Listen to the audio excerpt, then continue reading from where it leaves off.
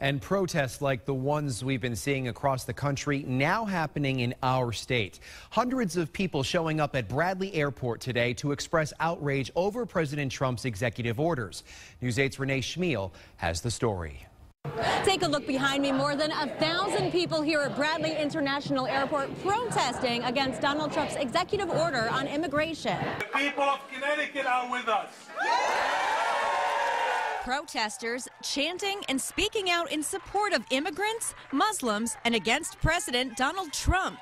The organization, the Council of American Islamic Relations, or CAIR Connecticut, organized the rally. Attorney General George Jepsen, who had just gotten off a plane and was leaving the airport, spoke to the group, as well as Lieutenant Governor Nancy Wyman. Protesters say they disagree with Trump's executive order and they want it to be changed. There are people in my community right now that had to go to the hospital, women, because of anxiety attack, feeling scared they're going to be removed from their children.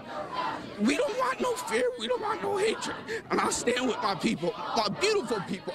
This entire protest was put together in a matter of hours on Facebook. In Windsor Locks, Renee Chmiel, News 8.